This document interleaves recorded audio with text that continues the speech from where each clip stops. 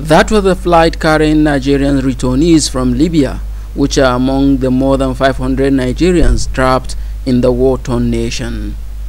They were received at the Port Harcourt airport by Minister of Foreign Affairs Geoffrey Onyeama. The returnees were first attended by officials of National Emergency Management Agency NEMA and immigration officials. They were later taken to the rehabilitation center in Port Harcourt Airport. Speaking, Foreign Affairs Minister lamented that human trafficking has compounded the immigration crisis.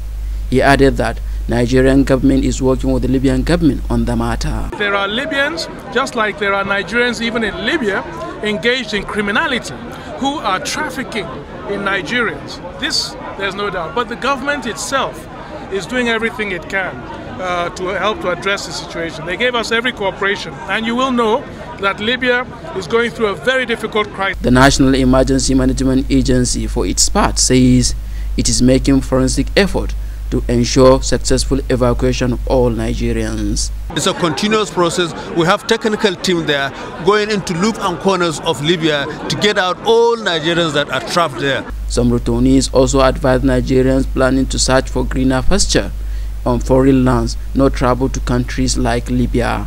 I suffer enough well well. I regret for, for going to Libya. They treat you like animal. If they if they are with cutlass, they will use it to cut you.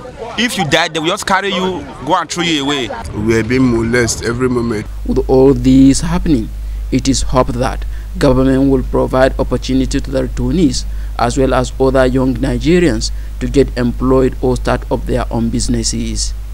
Alhassan Bala, ITV News, Port.